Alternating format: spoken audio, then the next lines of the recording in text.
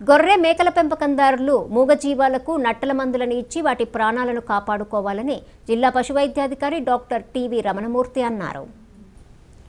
ఈరోజు కోనరావుపేట శివంగాలపల్లె ఎగ్లాస్పూర్ గ్రామాలలో గొర్రెలకు మేకలకు నట్టల నివారణ మందులను పంపిణీ చేశారు.